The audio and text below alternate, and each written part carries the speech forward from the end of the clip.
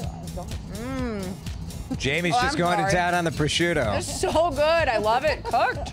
It is? Right? Awesome. So some of Minneapolis's top chefs are going to be using the prosciutto, pairing it with beer. Cured Yes. meats is the theme. Yeah, it's Is- called Cured and Crafted is the name of the event. It's going on next week, and one of the chefs who's taking part in the competition is Chef Beth Fisher from Wise Acre Eatery in the Tangletown neighborhood. Thanks so much for coming in. Yeah, no problem. You know we all love Wise Acre. I've done a story on it before. It's uh, it's an amazing restaurant. You guys have your own farm, and most of the stuff comes from the farm. we do, yeah. We and grow. look at what you have here. This I is know very it's it's almost sweet corn season. Everything's coming in, and you know we have some beautiful red vein sorrel here. I'm making a little chicken skewer with prosciutto wrapped on there. I thought I'd show you guys how to do that. We're just going to use the the prosciutto and ribbon it on there, and then we're just going to put a piece of chicken in between each little.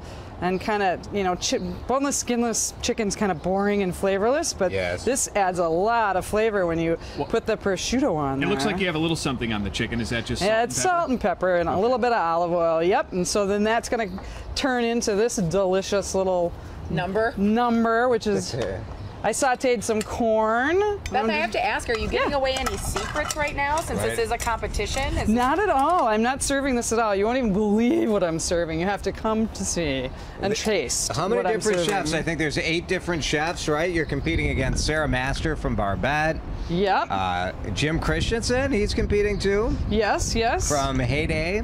Yep. Uh, the chef from Porter and Frye, Renata, Hot Dish, and Boneyard. So all of you guys are. a lot of hot restaurants? yeah. Yeah. A lot of little ones and. Are these things fun for you guys as chefs? I mean, I think people think that all the chefs know each other. Yeah, we don't. We're all in our kitchens You're all working working. really hard. I know. We all know of each other, I think, but I don't know that we. So it is fun. We get to get out and socialize and chat with each other and. You know, maybe share a few trade secrets and Sure. and uh, you know learn from one another, which I love. You said easy spices on there, salt and pepper. Prosciutto itself is pretty basic. It's really basic. It's just pork, salt, air, and thyme. That's what makes prosciutto. That's, It's so that's good. It. So, Jason, you're uh, you're going to be the judge or the MC? Luckily, I don't have to judge. I always hate judging these events because you do? I I love eating the food. I'll be a judge. I like eating the food, but. I like all of the people competing, so I hate to have to pick a winner. But I, uh, because part of the event is beer, my plan is just I'm just going to do this the whole time. And we'll just see what happens. end. Come early, I'm- stay late for a little. uh, And I'm lucky right? enough to be paired with Indeed, the Day Tripper IPA, which is So good. awesome. Yeah.